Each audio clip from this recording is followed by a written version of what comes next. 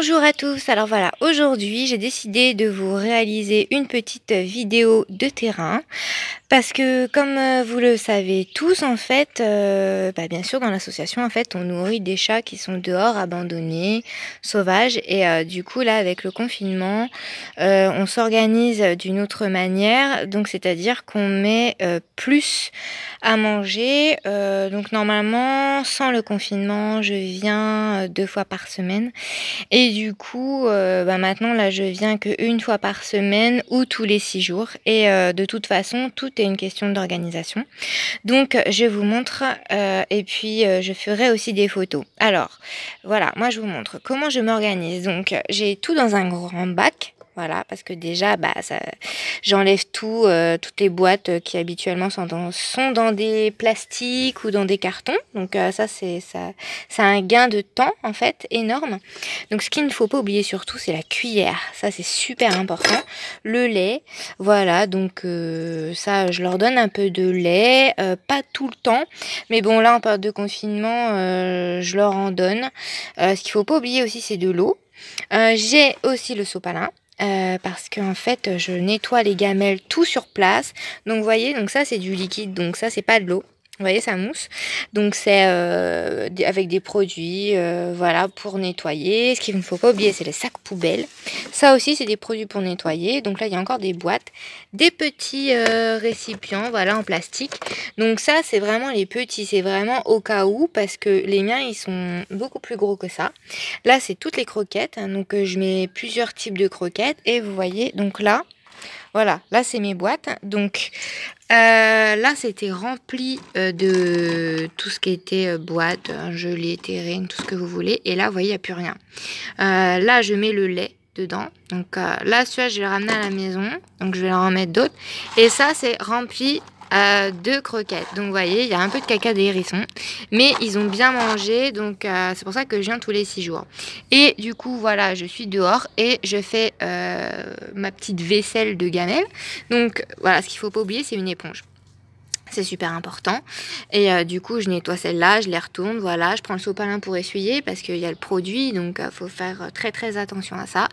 Et voilà, donc en croquettes, je leur, euh, en croquettes, en boîte, je leur mets environ 25, ah, 25 boîtes. Donc en fait, c'est rempli vraiment à ras-bord. Vous voyez, ça, ça fait une, grosse montagne. Donc ça, je sais que ça dure environ euh, deux jours, quoi. Euh, à tout casser, trois jours. Euh, de toute façon, faut pas que ça dure plus longtemps parce qu'après, c'est pas bon. Il y a des mouches, tout ça. Et après, ils mangent donc tout ce qui est nourriture, la nourriture sèche, en fait, ce qu'on appelle. On appelle ça la nourriture sèche. Et voilà, donc c'est très bon pour leur santé. Moi, je varie je varie les croquettes. Donc, euh, c'est-à-dire que je mets pas euh, les mêmes marques à chaque fois. Comme ça aussi, je peux voir ce qu'ils préfèrent. Donc, moi, ils adorent les brickies. Donc là, c'était un mélange de one parce que j'ai mélangé parce que sinon, ils mangent que les one au-dessus. Et les canailles en dessous, ils mangent pas, hein, les petits malins. Donc euh, voilà, vous voyez, on met ça parce que voilà, c'est vrai que les canailloux, c'est pas ce qu'ils préfèrent. Donc euh, moi là, je vais mélanger, là, vous voyez, je vais mélanger les Ultima avec les canailloux. Il me reste encore de one, euh, je vais tout mélanger. Et puis voilà, je vous ferai des petites photos après, donc où je dépose. Après, j'essaie de rester très discrète. où je nourris ces chats, donc ces chats après le confinement, parce que Là, c'est une question d'urgence.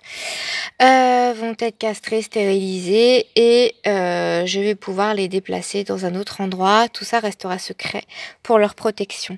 Voilà, je vous fais des photos de tout ça et puis euh, je vous souhaite de passer une bonne journée. Donc n'hésitez pas si vous avez des questions par rapport à la façon de faire, voilà, la façon de, de nourrir les chats. moi, voyez, pour nettoyer, je prends des gros bacs ou sinon avant, comment je faisais euh, je prenais voilà des bouteilles.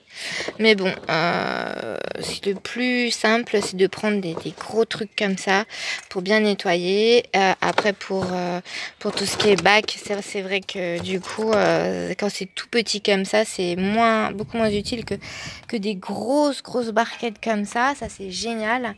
et c'est pareil, après, ça peut s'envoler. Donc, c'est aussi pour protéger la planète que en fait, on demande des gros bacs parce que c'est plus lourd. Et, euh, et du coup, il y a moins de risques, on peut plus facilement les retrouver. Voilà, bah écoutez, euh, je vous fais des photos de tout ça et je vous souhaite de passer une bonne fin de journée. Au revoir. Voilà, donc comme vous le constatez, je viens de terminer euh, la préparation des gamelles. Donc il y a une gamelle de lait, trois gamelles de croquettes avec un peu de pâté au-dessus parce que j'avais mis trop de pâté dans la gamelle à pâté. En fait, et pour éviter que ça coule partout, on les met sur des croquettes. Euh, il y a environ, il y a plus de 20 boîtes là dans cette grosse gamelle. Euh, et puis comme ça, ça va suffire pour une semaine. Je sais que dans une semaine, il n'y aura plus rien. Donc il y a différents types de croquettes, différentes boîtes, terrines, euh, sauce, gelée, tout est mélangé. Là, vous voyez, il y a déjà des minous qui attendent. Donc S, c'est une petite et il y a un petit noir au-dessus. Donc voilà, on va les laisser manger, ces chats. Euh, donc, ce qui est important euh, de faire aussi quand on a terminé euh, de, voilà, de, préparer tout ce qui est nourriture pour chat, on n'y pense pas forcément. Mais ce qui est vraiment, vraiment très important, vous voyez, donc bien sûr prendre son sac poubelle, voilà, faut toujours être propre vraiment. Euh, voilà, ça, si vous commencez à donner à manger au chat, euh, ça c'est essentiel. Surtout, euh, ne laissez pas les boîtes. Jamais de boîtes ouvertes comme ça pour donner à manger au chat. Ça, jamais. Hein. Enfin, j'ai besoin de le préciser, je pense, parce qu'il y a des gens qui le font. Donc, faut pas le faire parce que le chat peut rester bloqué dans la boîte et peut mourir comme ça. Donc ça, faut pas le faire. Donc là, mon paquet, vous voyez, je vais le ranger. Donc ce qui reste là sur la route, il est, important de préciser qu'il faut le rincer il faut que ça parte dans le caniveau. Vous voyez Il faut pas laisser ça en plein milieu de la route parce que n'importe quel chat peut venir manger. Euh, donc c'est pas le problème qui mange, le problème c'est que s'il y a des voitures, euh, et ben il y a des voitures euh, voilà qui peuvent renverser euh, le chat, que ce soit fait exprès ou pas hein, d'ailleurs. Mais voilà c'est pour ça qu'il faut rincer toujours. Voilà, bon bah écoutez, j'espère que tout ça, ça vous aura aidé. Euh, n'hésitez pas si vous avez des questions, encore une fois.